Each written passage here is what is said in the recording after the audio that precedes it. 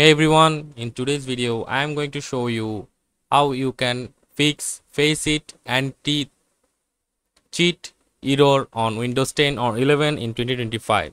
So for that first of all you need to go to the Windows search menu and search for settings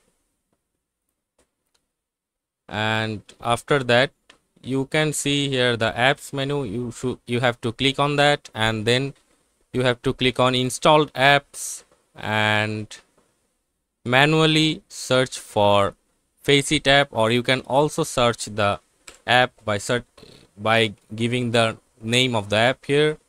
And you have to just click on three dot and uninstall the app. And after that you have to uh, click the windows r menu and just type percent app data percent and just click on ok.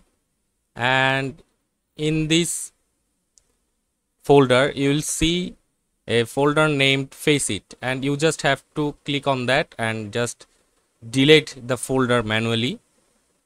And after that you have to just come on the FACEIT website and just download the app again and just install it just the like it just just the way it should be downloaded and you are good to go. And now you can see that the your error error is fixed and you are able to